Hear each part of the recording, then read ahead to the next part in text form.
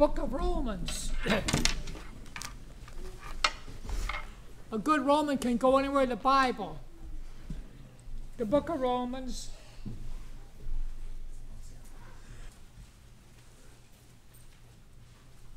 The meeting this day is on the gospel, but before we take it up, I just want you to look at the book of Romans. The theme for the book of Romans is two words of God. The gospel of God. Look at verse 1. Verse 7, the beloved of God. Verse 10, the will of God. Verse uh, 16, the power of God. Verse 17, the righteousness of God. Verse 23, the glory of God. Verse 25, the truth of God. Verse 32, the judgment of God. Verse 4, the goodness of God leads man to repentance. Verse 24, the name of God, and there are different names for God.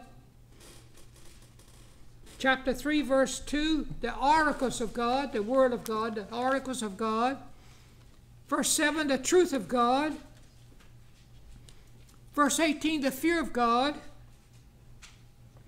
And go down to verse 25, whom God has set forth to be a propitiation through faith in his blood to declare his righteousness for the remissions of, the, of sins that are past. Whose sins that are past? Old Testament believers' sins that are past. Through God's forbearance, the forbearance of God. God was willing to forbear all of those sins committed by Adam and Eve and Abraham and Isaac and Jacob and Joseph and David and Solomon, the Queen of Sheba and King, King Nebuchadnezzar. God forbore. He held back their deluge of wickedness and corruption and sins until Christ could perform redemption upon the cross of Calvary. So the Old Testament believers are saved through redemptive work of our Savior upon Calvary's cross. Isn't it wonderful? He forbore with me till I was 20 years of age. I got saved when I was 20. I've been saved over 60 years, so you know what how old I am. Yeah, Margaret, she got saved when she was 10. I have a child got saved when he was 5. So if you're not saved, you need to believe the gospel, the good news of salvation, and trust Jesus as your Savior. You don't even have to have any faith. For by grace are we saved through faith, and that's not of yourself, not your faith. I didn't even know what faith was the night I got saved. No, I didn't. I didn't know what repentance meant till after I got saved. It's the gift of God. God will save you right in your seat. A boy in Bluefield, West Virginia got saved in his seat. Abraham got saved, uh, excuse me, Matthew got saved in a box, tax collector's box. Zacchaeus got saved when he came down the tree, received the Lord Jesus joyfully. So if you're here this morning, you're not saved, you better get saved. That's a word of warning. The Lord loves you, Christ died for you, and He wants to save your soul. But you must re- repent of your sins Repentance towards God and faith in our Lord Jesus Christ. And you don't have it to have any faith. God will give you the faith to get saved. Want to be saved? You can be saved right in your seat where you are. Just where you are. If you're not saved, Lord Jesus, I'm a sinner. Lord Jesus, I'm lost. I want to be saved. You'll get saved this morning before you walk out that door. And you'll thank God for that. It's so good to be saved. Now, the message today that's just an aside. The message today is the gospel. What can we call the gospel? What would you call it? Starting with a G. It's good news. That's right. I have good news for you. And best of it all is true. So it's good news. The glorious gospel of Christ is good news. Now let me tell you Christ died for our sins according to the scriptures. He was buried, however, the burial has no vicarious and nothing vicarious in the burial, but what Christ became, he became sin, and it must be banished out of God's sight in the burial of Christ. Nothing vicarious in the burial. But then he was raised up the third day according to the scripture, not from the dead, but from among the dead. So basically, that's the gospel. However, Now that Paul got saved, he adds something to that is called the gospel of the glory. There's a man in heaven. There's one man in heaven. There's souls and spirits there. My God, loved ones there, departed this life to be with Christ, which is far better. But it's only one man in heaven. And that's the man Christ Jesus. He is filling all heaven. He has a body just like you and me but he has a glorified body. Everyone else there there with souls and spirits. Their bodies out in a cemetery.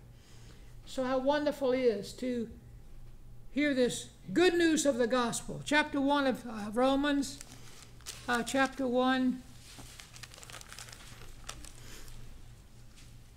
The gospel of God, verse 3, is concerning his Son, Jesus Christ our Lord, which was made of the seed of David according to the flesh and declared to be the Son of God with power according to the Spirit of holiness, the Holy Spirit, by the resurrection of dead persons, not his resurrection, the resurrection of Jairus' daughter, the resurrection of widow Nain's son, the resurrection of Lazarus. We know Christ arose from the dead. If he wasn't risen, we'd be still be in our sins. But this doesn't have to do with him. It has to do with those three people he raised from the dead. Jairus' daughter, the widow Nain's son, and Lazarus. Lazarus had already been dead for four days. He said, Lazarus, come forth. And he came forth. So, how wonderful. That's the gospel of the good news. Gospel of God concerning his son, Jesus Christ our Lord. Also, look at verse uh, 16. For I'm not ashamed of the gospel of Christ, for it is the dynamite of God we get our word dynamite, dunamis, Greek word.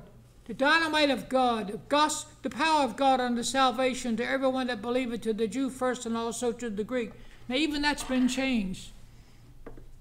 Anyone, Jew, Gentile, male, female, barbarian, Scythian, those who are locked up in jail. My wife's been going to jail for 30 years.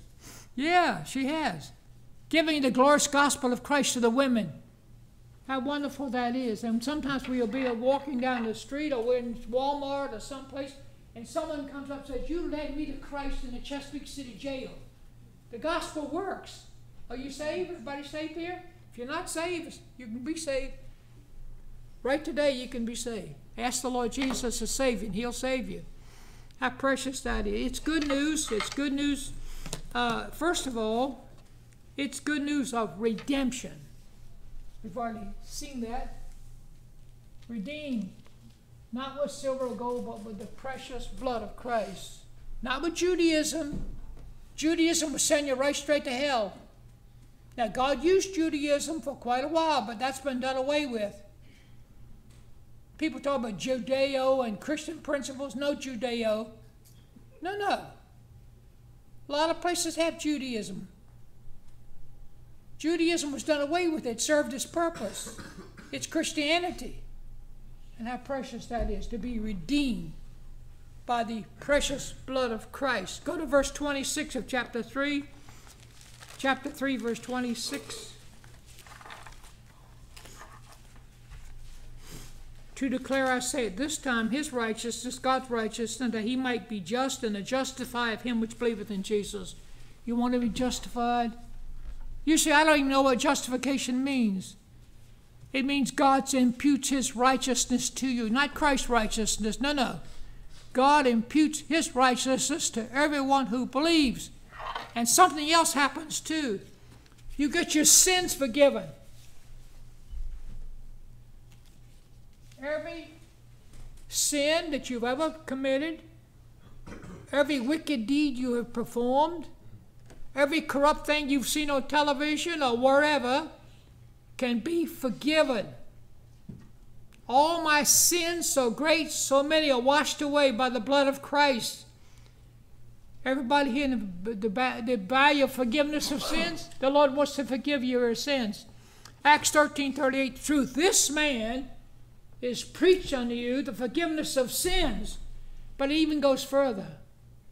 Through this man you can be justified from all things you could not be justified by the law of Moses. The law cannot save you.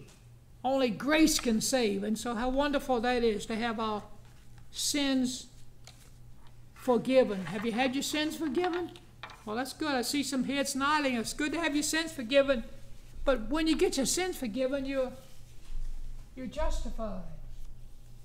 Just as if you never sinned. Isn't that wonderful?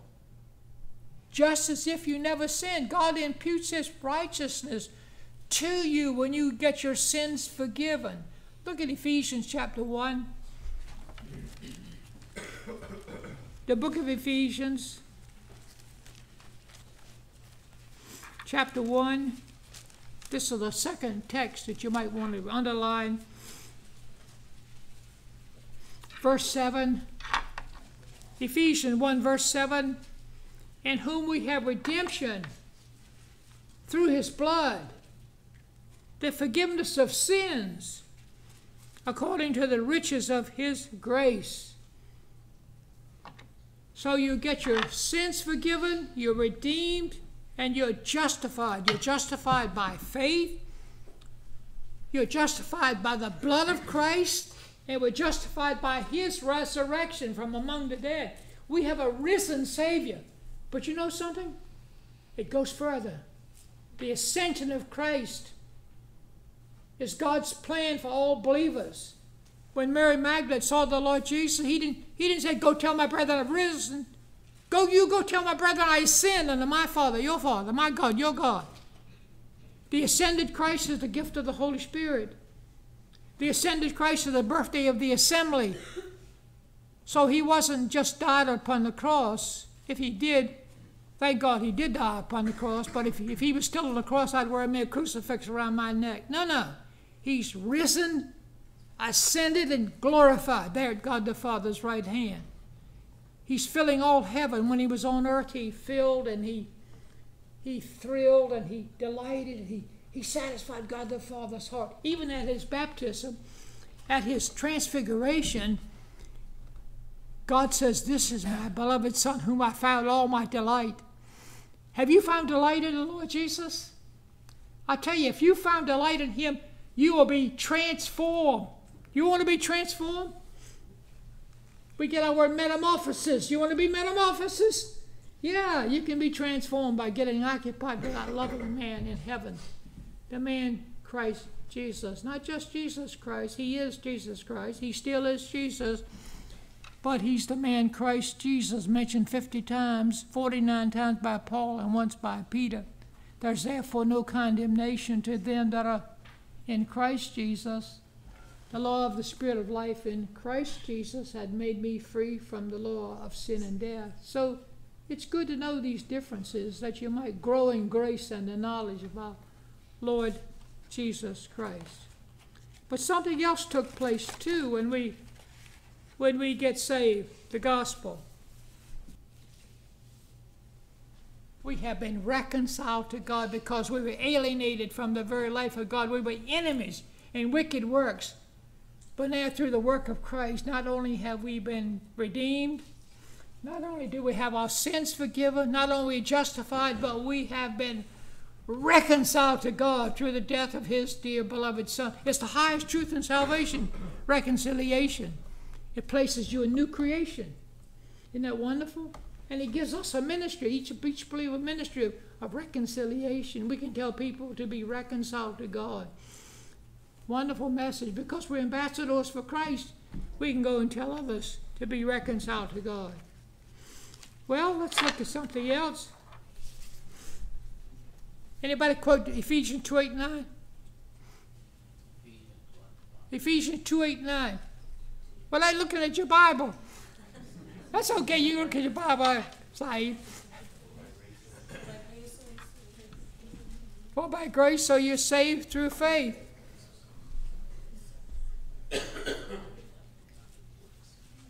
so we have salvation, we're saved.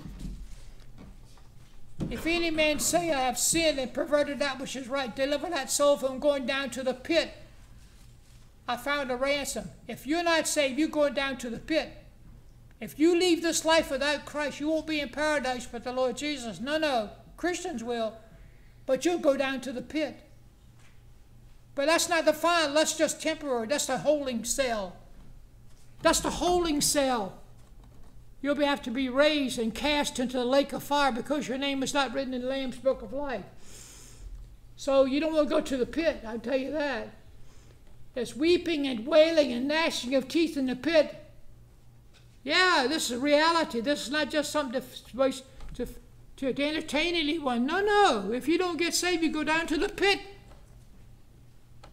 It's a bottomless pit. You just keep falling and falling and falling, your soul and spirit. Never, never wind up anywhere. Gnashing of teeth. I could have been saved, but I got lost. I didn't take Jesus as my Savior. I put it off. I thought I had some more time. You don't have any more time. We can't give anybody any second chances. No second chances. No, the Lord may come and you'll be lost.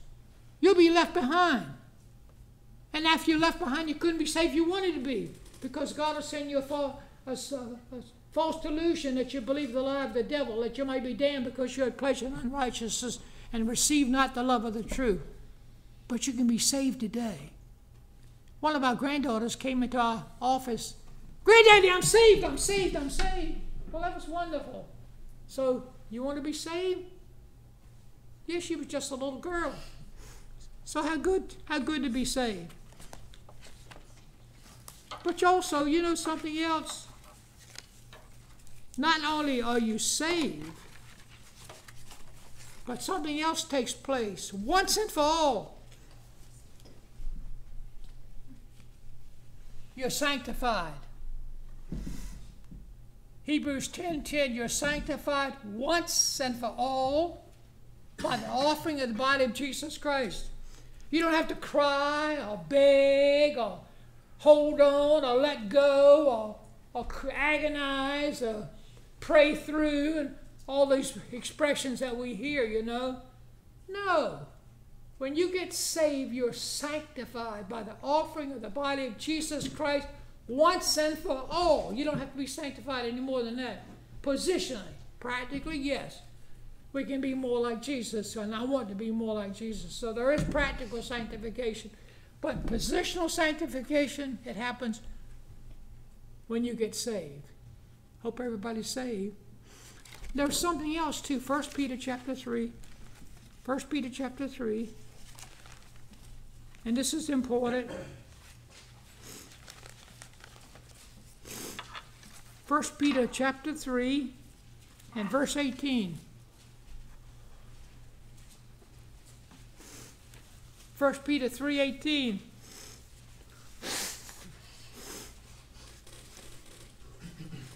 For Christ also once suffered for sins, the just for the unjust, that he might bring us to God. That is called substitution. He took my place. He died for me. Did he die for you? That's good, isn't it? He died for you and He died for me, but you must make it your own. The vicarious, substitutionary work of our Lord Jesus. You'll just visualize the S over here. Substitution. How precious that is. Yeah, it's wonderful. The substitutionary work of Christ taking our place there upon the cross. He didn't deserve to die. You and I did. We were wicked sinners of the Gentiles. Think of that. We had no claim upon God. No, no. But Christ took our place. He is our substitute, the substitutionary vicarious work of our Savior, the Lord Jesus Christ, there upon the cross of Calvary. But something else took place, which is the most important of everything. And this is called God has been propitiated Propitiation is what we get our word mercy seat. God has been mercy seated. God is satisfied. If God is not satisfied, all the rest is nonsense. But He is satisfied. God has been propitiated. How precious that is. The Lord Jesus satisfied God the Father's heart. He can satisfy your heart too. Jesus can satisfy, satisfy, satisfy. Jesus can satisfy. Yes, yes, yes. He wants to satisfy your heart if you trust Him as your own personal Savior because God has been propitiated through that great redemptive work upon the cross of Calvary. The Lord Jesus was on the cross from 9 o'clock in the morning until 3 o'clock in the afternoon. The first three hours could not save a soul. He died for righteousness' sake. But the last three hours, God shut him in. There was darkness upon the whole face of the earth. And he cries out, My God, my God, why hast thou forsaken me? He was abandoned there upon that cross for three hours. Three hours of darkness, bearing the sin of the world, not just only our sins, but the whole sin of, he tasted death for everything, not just every man. Think of that. The Lord Jesus did. What a death he died. From 9 o'clock in the morning until 3 o'clock in the afternoon. He suffered for righteousness' sake the first three hours. The last three hours, he suffered for your sins and my sins there upon the cross of Calvary. God has been propitiated. And something as a result of all of that, if you get saved, you'll have peace with God through our Lord Jesus Christ. How precious that is. That's the only way you can get peace is through our Lord Jesus Christ. But also something else happens. You're pardoned. He will abundantly pardon you. He will abundantly pardon you. People in jail knows what that means to be pardoned. Abundantly pardoned. Isaiah 55, verse, verse, verse 6 and 7 at your leisure. But more than all of that, when you trust Christ as your Savior, you have certain things. You have what? Starts with an E. You have eternal life.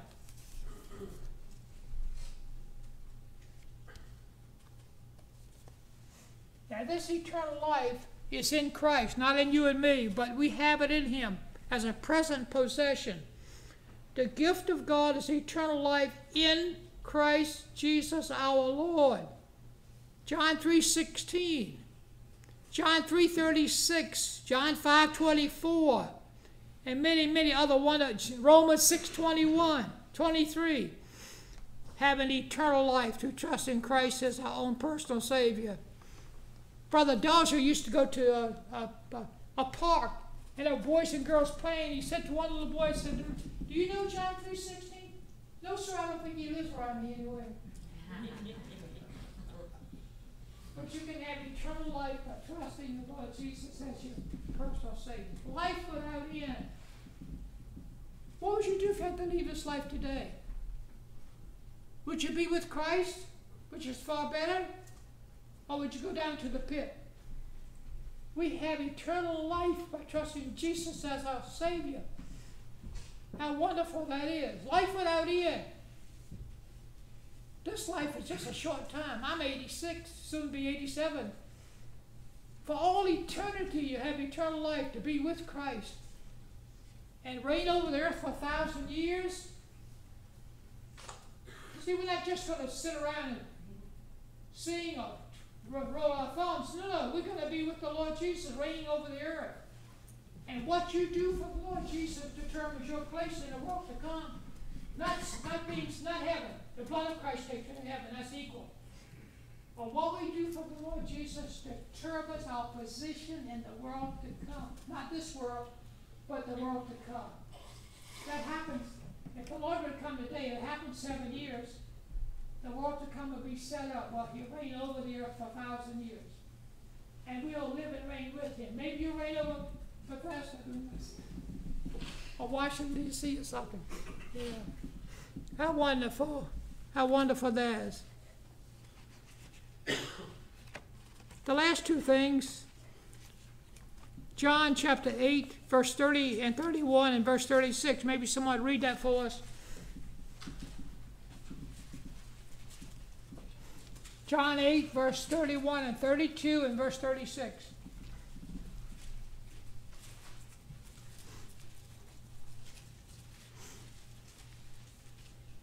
Anybody have it? You can read it. You have it? Good. Read it.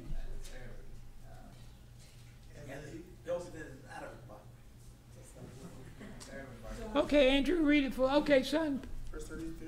Verse 33. First, well, 31 and 32 and verse 36.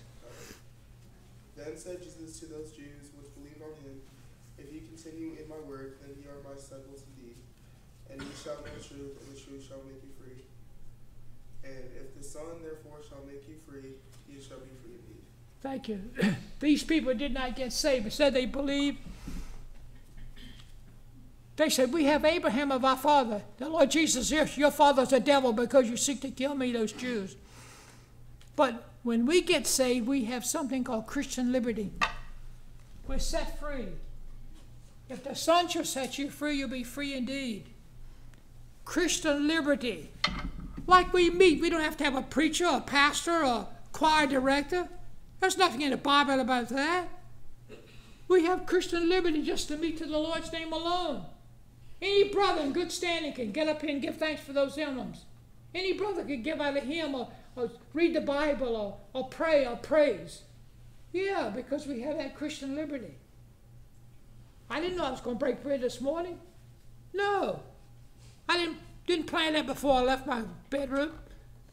So, how wonderful to be set free. If the Son shall set you free, you'll be free indeed. And all of this is based on John uh, Romans 5 verse 5 and 9. Romans 5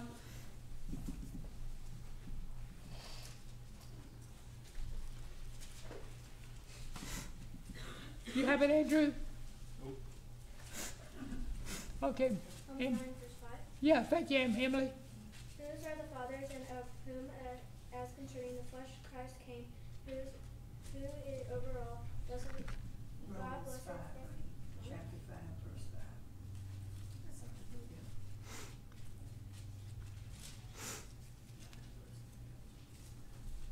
And hope maketh not ashamed, because because of the love that God has shed abroad in, the, he- in our hearts by the Holy Ghost, which is forgiven unto us. Thank you. All of this that we have here is based on one word, and that's the love of God, the love of our Savior.